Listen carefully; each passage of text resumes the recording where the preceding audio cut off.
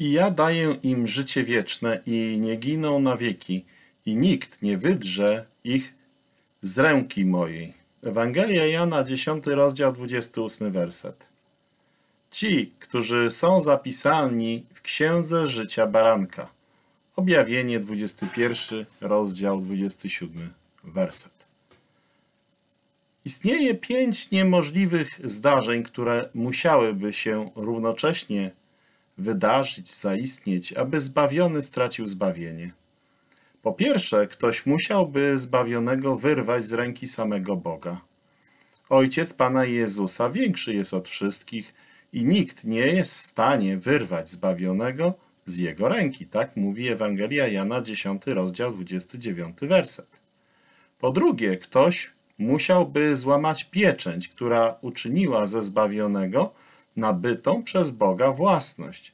Zbawiony został zapieczętowany Duchem Świętym, który jest zadatkiem jego dziedzictwa, bo tak uczy list do Efezjan, pierwszy rozdział, 13 i 14 werset. Ze zbawionego musiałby być wypędzony zamieszkujący go Duch Święty, Duch Boży. Zbawiony jest świątynią Boga i Duch Boży mieszka w nim, bo przecież tak mówi nam pierwszy list do Koryntian, trzeci rozdział, szesnasty werset. Ojciec dał zbawionemu Ducha Świętego jako Jego pocieszyciela, aby z Nim trwał na wieki, bo tak mówi Ewangelia Jana, 14 rozdział, 16 werset.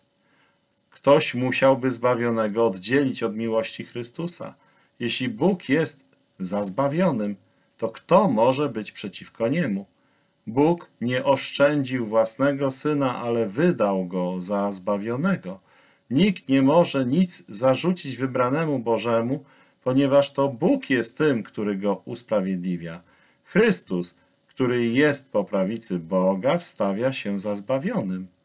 Ani śmierć, ani życie, ani aniołowie, ani księstwa, ani zwierzchności, ani moce, ani rzeczy teraźniejsze, ani przyszłe, ani wysokość, ani głębokość, ani jakiekolwiek inne stworzenie nie zdoła zbawionego odłączyć od miłości Bożej, która jest w Chrystusie Jezusie Jego Panu. Tak uczyli z do Rzymian, 8 rozdział, 31 do 39 wersetu.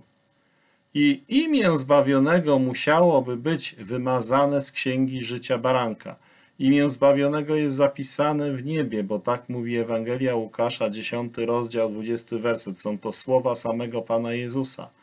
I jest zapisane w Księdze Życia, bo tak mówi list do Filipian, 4 rozdział, 3 werset.